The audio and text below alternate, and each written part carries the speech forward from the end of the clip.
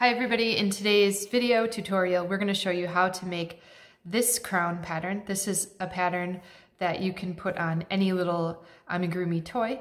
This is our free octopus pattern available at Rabbitry and Yarns. And we'll get started showing you exactly the materials you need and we'll go through the process of creating this crown. The materials you will need to make this crown we have the wool of the Andes worsted weight in creme brulee. You won't need too much of this, so you will have quite a bit left over. We have our Westcott titanium scissors, our crafting scissors. We have our Knit Picks yarn bowl. We have a stitch marker. You can use this, it's optional. And then we have our size G plus 4.5 millimeter Furls crochet hook. For this pattern, we're going to start out with a slip knot. Put that on your hook. Now you're going to chain 12. One, two, three, four, five, six, seven, eight, nine, ten, eleven, twelve. Take this and at the very back loop of the first chain, use a slip stitch and that'll join this into a loop. That's the end of round one. For round two, you're gonna put 15 single crochets in this. So you're gonna go through the very center of the crown and put in 15 single crochets. So that's the first one. And now we need to do 14 more. Two, three,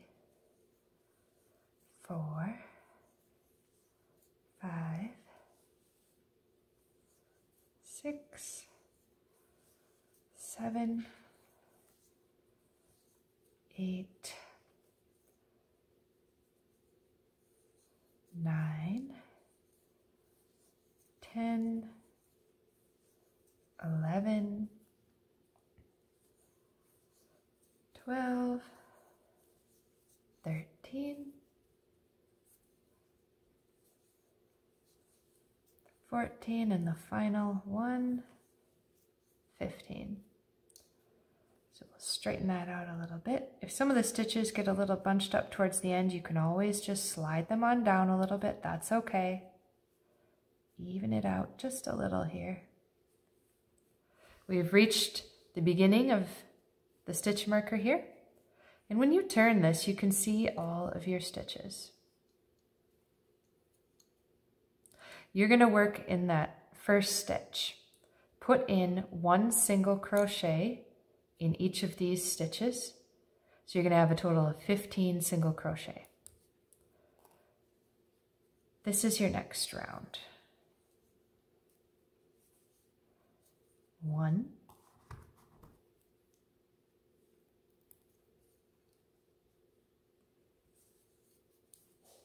two,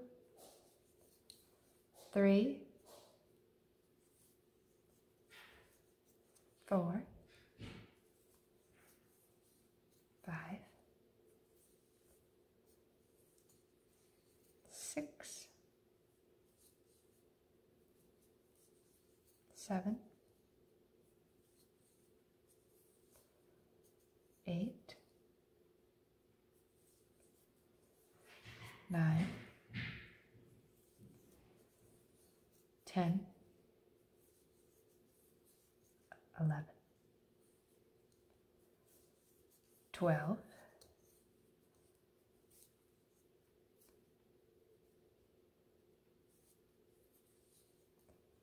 thirteen, almost done, fourteen,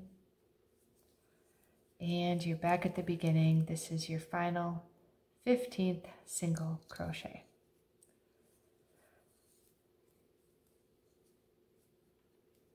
Next, in this very first stitch, you're going to put quite a few stitches in here.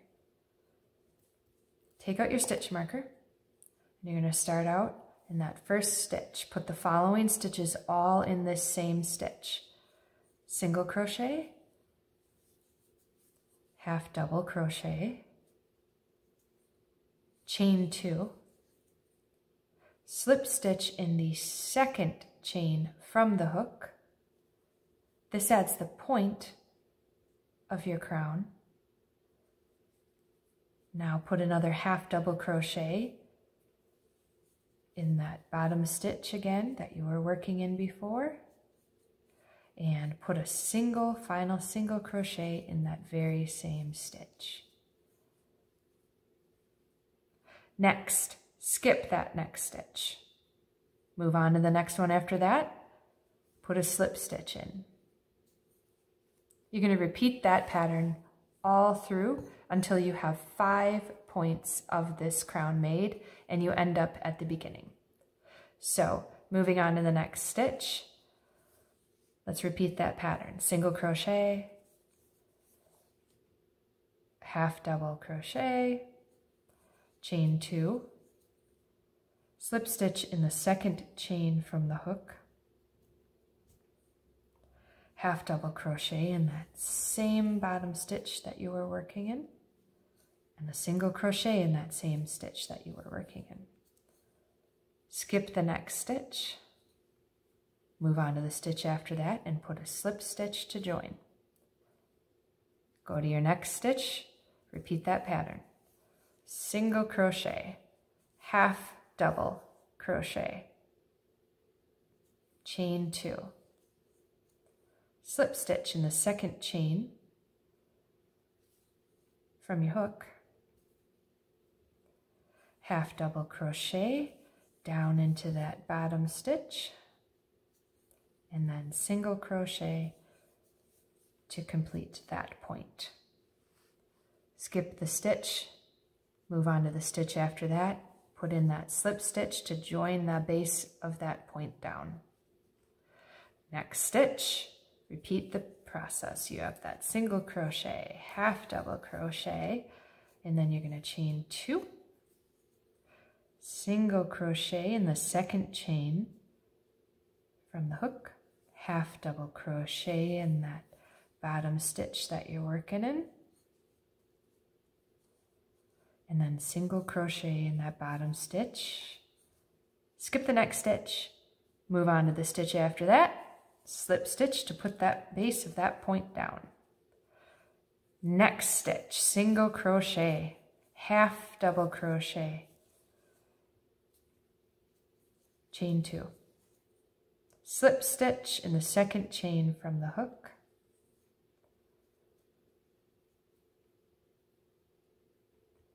Sometimes if your chains are tight, it can be a little fiddly. Half double crochet to that bottom stitch we were working in. Single crochet. Skip the next stitch, slip stitch,